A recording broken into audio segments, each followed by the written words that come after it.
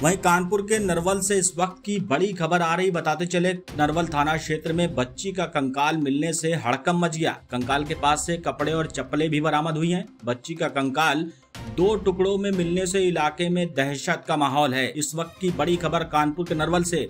Forensic team को सूचना देते हुए मौके पर पहुँची पुलिस, जाँच में जुट गई है। खबर पढ़े जाने तक कंकाल की शिनाख्त नहीं हो सकी है। पूरा मामला नरवल थाना क्षेत्र के बाराधरी गाँव के पास बनी पानी की टंकी के पीछे का बताया जा रहा है।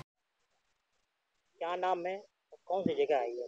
हाँ जो ग्राम पंचायत है ग्राम पंचायत का मतलब वो जंगल है बारदरी। क्या हुआ यहाँ पे? यहाँ पर सुबह साढ़े आठ बजे हमको गाँव के द्वारा एक सूचना मिली कि मतलब कुछ कंकाल मतलब मिला हुआ। जैसे हमको जानकारी मिली हमने यहाँ देखा तो एक खोपड़ी मिली और एक स्कर्ट और छोटे चप्पल या छह वर्ष सात वर्ष के लग रहे थे और हड्डियाँ एक दो मिली। इसे यहाँ शंका लगाई जा रही कि ये लड़की की हो सकते हैं।